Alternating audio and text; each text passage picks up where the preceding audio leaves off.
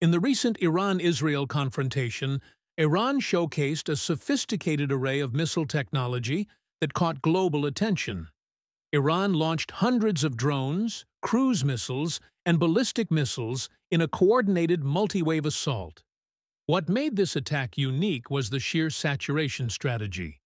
Iran overwhelmed Israel's Iron Dome by combining fast, low-flying drones with ballistic missiles traveling at high speeds.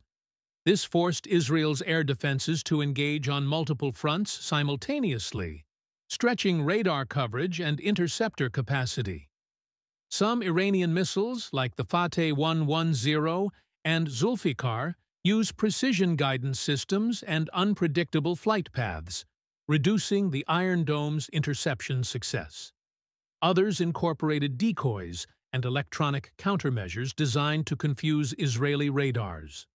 While Israel managed to intercept the majority of incoming threats with Iron Dome, Arrow, and David's Sling, the attack demonstrated that Iran's missile arsenal has evolved to exploit gaps in layered defense.